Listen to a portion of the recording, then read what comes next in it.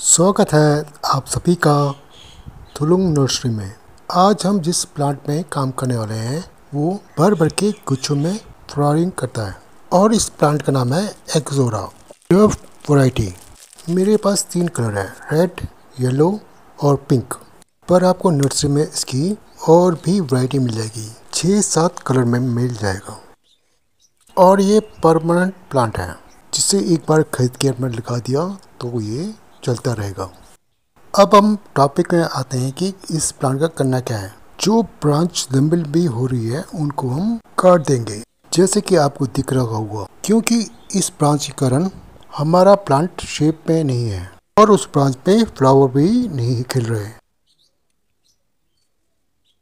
जैसे यहाँ पे खिल रहे हैं। और मैं ये चाहता हूँ कि मेरी जितनी भी प्लांट की ब्रांच हो, वो एक ही साइज़ की हो। सभी प्लांट की उसी हाइट में फ्लोरिंग हो। और कौन चाहे कि उसकी प्लांट की ब्रांच ऊपर नीचे हो। और दिखने में भी वो अच्छा नहीं लगेगा। तो अब काम शुरू करते हैं। इसकी मैंने वो ब्रांच काट दी है, जो ज़्यादा लंबी थी। और नए शूट को मैं हाथ से ही पिंच कर रहा हूँ। ऐसे पिंचिंग करने से फ़ायदा ये होगा कि मुझे उस ब्रांच में और भी नई ब्रांच आ जाएँगी। एक बार प्लांट को घुमा कर देखना है कि इसमें कोई ब्रांच भूल तो नहीं गए। अब आती है दूसरे प्लांट की बारी और इसकी ब्रांच बहुत लंबी भी है। इसको भी उसी लेवल में हम काट देंगे। उसी लेवल में जो हमने पहले प्लांट की काटी है, उसी लेवल लेके चलना है। नहीं तो पहले पॉट में लंबा हो जाएगा और दूसरे में हम छोटा कर देंगे। बस इसी बात का ध्यान देना है, जो दोनों प्लांट बराबर हो।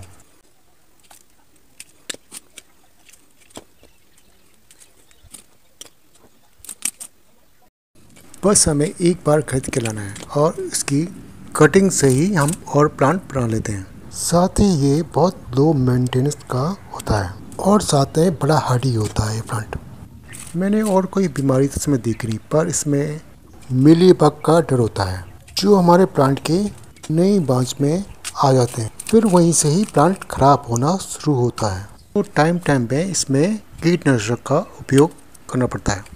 पर मेरे इस प्लांट में नहीं है अभी। और बात करें मीडिया की तो इसमें मिलाया मैंने अपनी खेत की मिट्टी। वो भी साठ परसेंट बीस परसेंट मिलाया उसमें मैंने गोबर की खाद। वो भी अच्छी सड़ी हुई।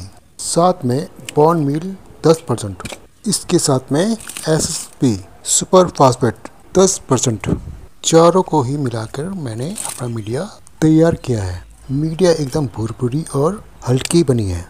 और इस प्लांट को एसिटिक मीडिया पसंद है। और साथ में आठ इंच का पॉट मैंने इसमें यूज़ किया है। और मैंने इसे ऐसी जगह रखा है जहाँ से सुबह की धूप मिले। 11 बजे तक धूप मिलती है इसे। उसके बाद यहाँ धूप नहीं आती। और इसे पूरे दिन की धूप भी नहीं चाहिए होता। अगर हम इसे पूरे दिन की धूप दे तो इसके पत्ते जलने लग जाते हैं। और साथ में फ्लावर भी।